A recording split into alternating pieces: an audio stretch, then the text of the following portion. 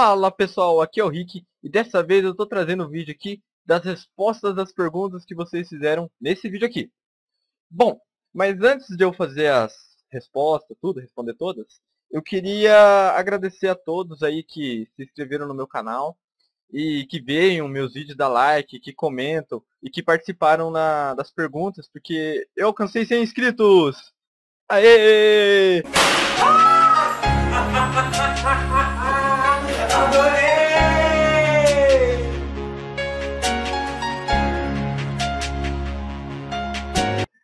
Então, tipo, eu fiquei muito feliz com isso. Eu, eu, sempre pensei ali, né? Eu ficava contando todo dia os inscritos para ver se chegava, né?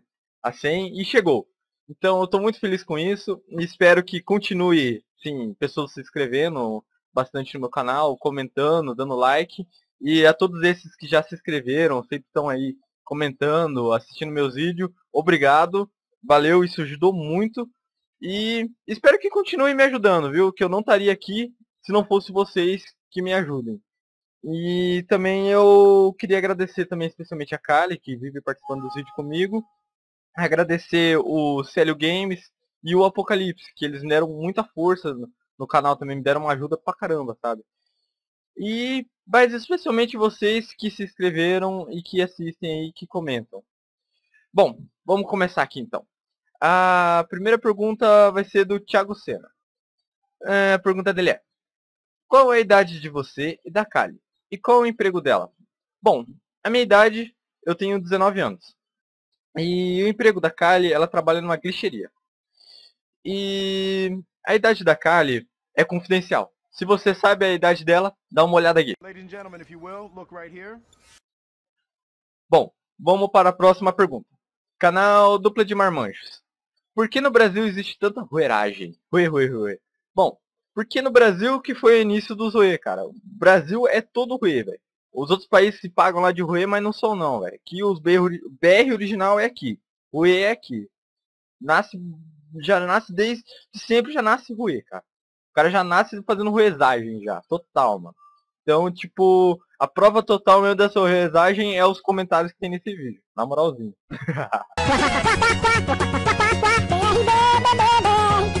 Bom, vamos pra próxima. É, Alex Shore, por que não corta a barba? Bom, eu não corto a barba pelo seguinte fato. É, quando eu tô com a barba assim, grande, do jeito que ela tá assim, eu pareço mais velho, sabe? Se eu corto ela, eu fico parecendo uma criança de 5 anos, cara. Eu fico muito mais novo. Dá uma sensação esquisita, sabe?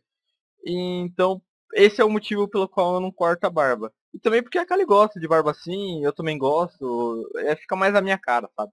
Ter uma barba desse jeito. Bom, vamos pra próxima. É, Gabriel Barandi perguntou. E aí, Rick? Saudações do seu amigo de clã, o Time Freedom. Saudações aí a todos do clã, o Time. É, gostaria de saber de onde surgiu o seu nick de ninja. Bom, esse nick saiu da época do Grand Chase Session 1, mano. Tipo assim, ele saiu como um nick de sorte, vamos dizer assim. Que antigamente eu usava um outro nick, que era meu nome e meu sobrenome. Só que eu nunca consegui fazer nada no Grand Chase, tá ligado? Não consegui liberar um personagem, nada. Tipo, na época da sessão 1, liberar alguma coisa era muito difícil. Quem jogou sabe. E então, um dia eu resolvi criar uma conta nova. Aí eu coloquei assim, ah, vou colocar Rick Ninja. Porque eu gostava do personagem ninja do jogo, que era o Les, esse cara aqui. E então, tipo, por esse fato, eu acho que eu coloquei Henrique Ninja, eu falei, ah, vamos jogar aqui. Eu fui jogando, não liberei o ninja que eu queria de fato, mas eu liberei outros personagens. Eu liberei o Ronan, um arcanista lá, eu liberei o Druida, que é um cara com machadão. Tipo, era mó legal, sabe? E eu gostei muito. Aí por ter feito isso, sabe, eu pensei, ah, o Nick me deu sorte, sabe? Esse nome me deu sorte. Aí eu sempre fui usando. Em todos os outros jogos que eu criei conta, sempre é Rick Ninja. E, tipo, às vezes, como tinha várias contas, aí não podia usar o mesmo nick, eu variei, eu colocava Rick the Ninja ou The Rick Ninja. Então, por isso, daí que saiu esse, esse nome. Bom, vamos pro próximo. É, Jack você já usou hack ou pretende usar?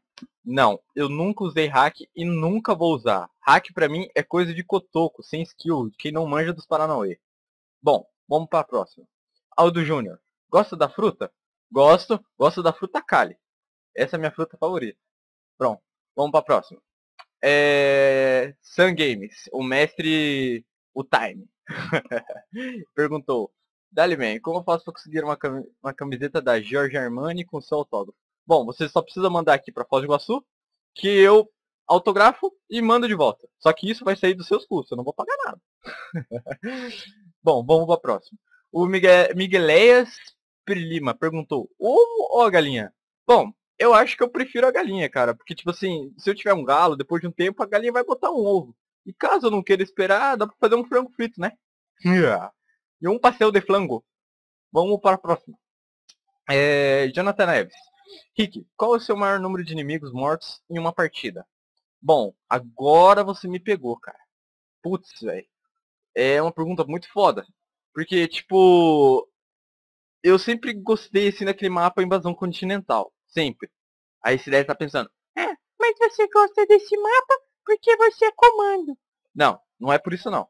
Eu gosto desse mapa com qualquer classe. Eu sempre me dei bem com ele. Tipo, ele lembra bastante Call of Duty 2, assim, que eu jogava, Medalha de Honra. É, e eu gosto, sabe, daquele mapa. Eu sempre me dei bem nele.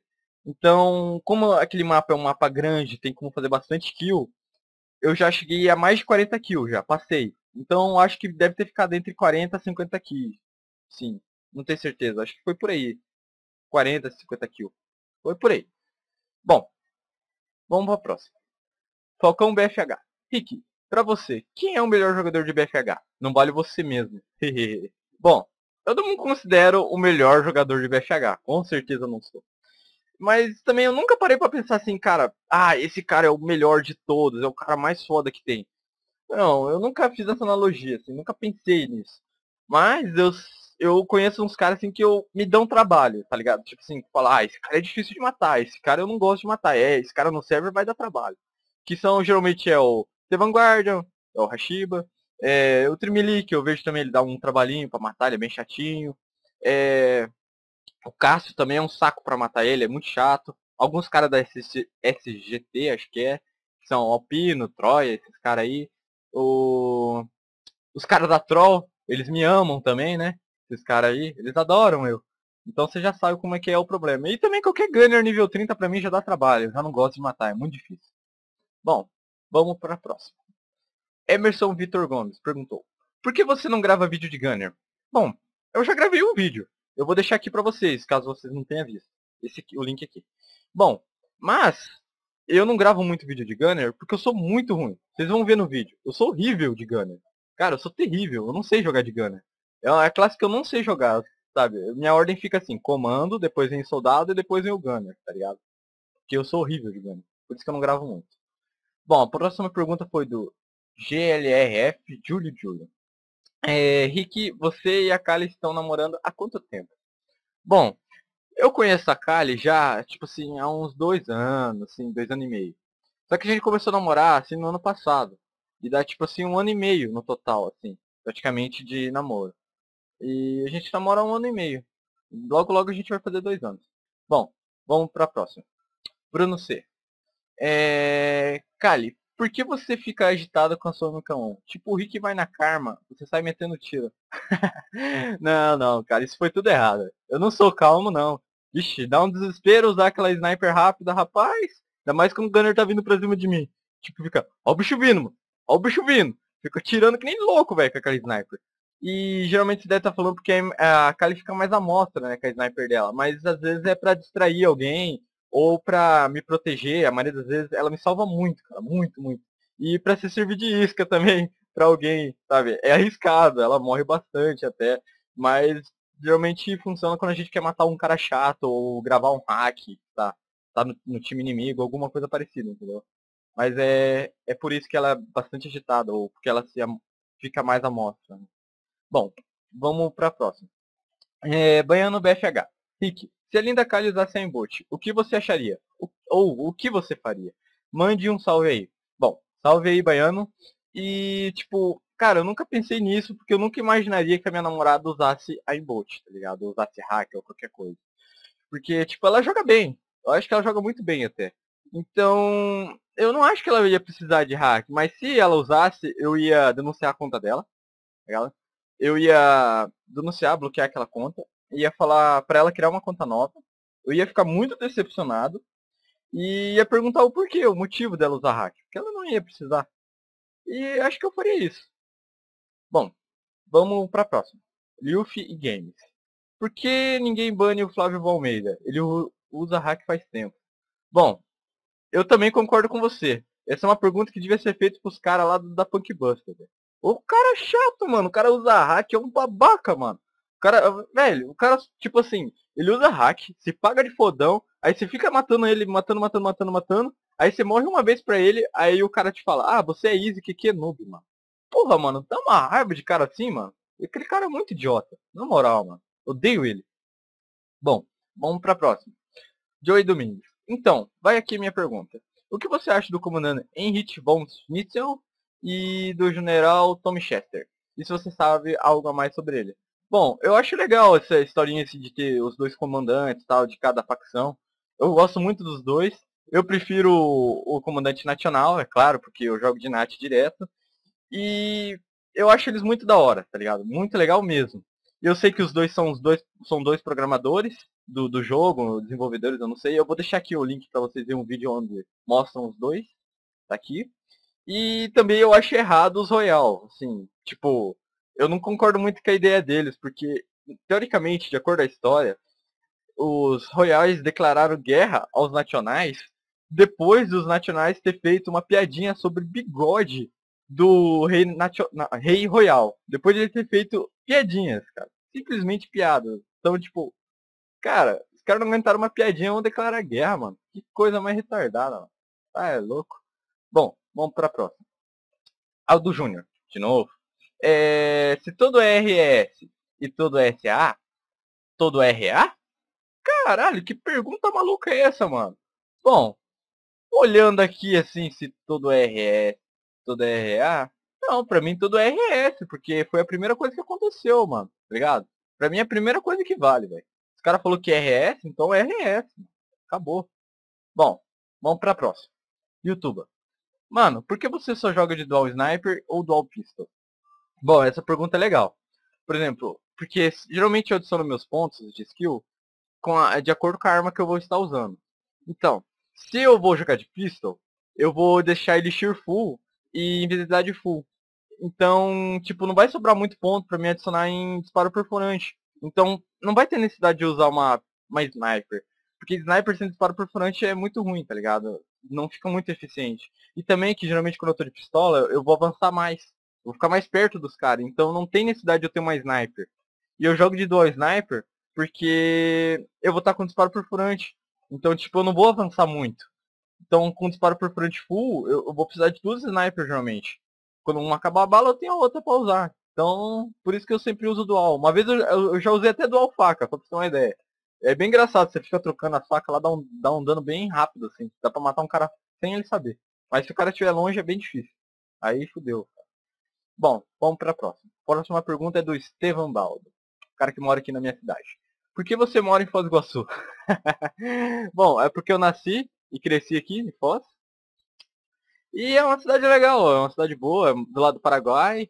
E faz um calor sinistro aqui e um frio sinistro também. É uma cidade tudo errado.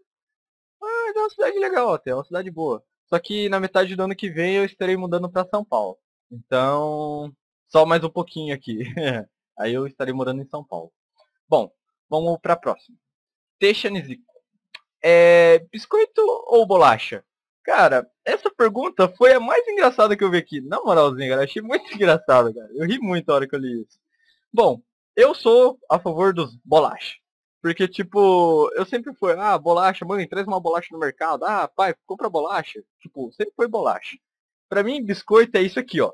Que é o famoso cookie, pra mim. Eu sempre achei que biscoito era isso, sabe? O resto era bolacha. Tipo, bolacha com sal, é, bolacha recheada, bolacha de maisena. Sempre bolacha. Vamos para próxima. É, as próximas, na verdade, vai ser as dos engraçadinhos do, do meu canal, que fizeram perguntas indecentes, vamos dizer. Bom, vamos começar aqui com a do Hashiba. Bom, Hashiba perguntou, qual é o tamanho do seu pênis? Bom, o tamanho do meu pênis, mano, é do tamanho suficiente para agradar a minha namorada. Só não falo em centímetros em tamanho, porque eu acho que eu não quero diminuir os, não quero diminuir você ou outra pessoa, tá? Vamos pra próxima. É, Trimilique. É verdade que a Kali faz fio terra em você? Não, não é verdade. Ela não faz fio terra em mim. Se você quiser sugestão sobre esse assunto, você vai ter que perguntar para outra pessoa. Bom, se a tua namorada quer fazer fio terra em você, velho, não adianta perguntar para mim. Eu não sei sobre esse assunto. Bom, vamos para a próxima. É, é verdade que o Trick gosta de peru?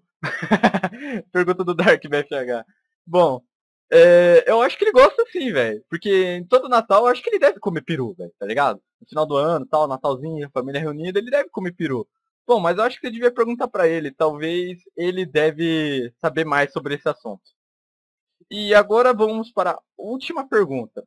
Bom, essa pergunta foi do Skiller e Games. Eu quis deixar para ela porque ela foi a mais cruel, cara. Vamos lá. Canta só o refrão dessa música. Aqui tá a música daquele que, que é cachorrinho. Se não cantar, minha pergunta não valeu nada. Bom, olha a música que eu vou ter que cantar. Eu vou colocar o trecho aqui pra vocês. Vem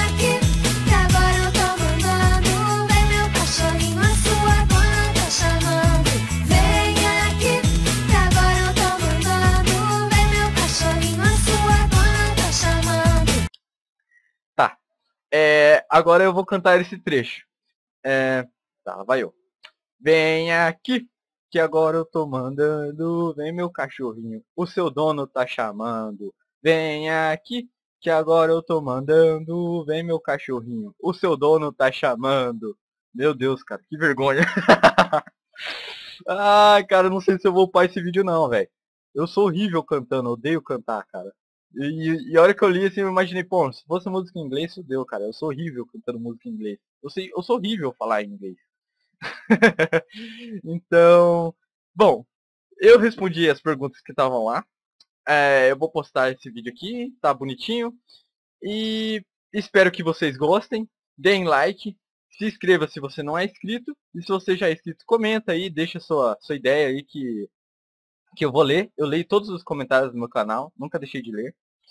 E também eu tô pensando em fazer umas ideias novas, se você tiver alguma sugestão, alguma ideia aí, pode deixar aí nos comentários que eu vou ler, eu vou, se for uma ideia legal, eu vou te dar os créditos, não se preocupe, eu sempre dou os créditos às pessoas. E também, por exemplo, eu tô pensando em fazer uma ideia assim, se vocês acham, se vocês gostarem dessa ideia, vocês podem comentar aí se vocês gostaram. De fazer tipo um, o jogo da semana. Por exemplo, um amigo meu me deu essa ideia. É, pegar uns jogos assim aleatórios, jogar ele e postar um vídeo dele tipo, mostrando alguma ideia, se o jogo é da hora, porque que eu gostei, o que eu não gostei do jogo, sabe? E eu vou começar essa ideia aí e espero que vocês gostem. Se vocês acharem legal, comenta aí, dá uma, uma ideia para mim que isso ajuda bastante. E de novo, gostaria de agradecer a todos que participaram, até mesmo aqueles que fizeram piadinha. E, e, espero até o próximo vídeo aí. Eu quero, quem sabe, eu não faça de novo esse vídeo de perguntas, né? Pra dar chance àqueles que não participaram participar. E aqueles que já participaram, participar de novo, né? Se quiserem. Bom, é isso mesmo. Valeu a todos. Espero que tenham gostado. E valeu, abraço. Fui.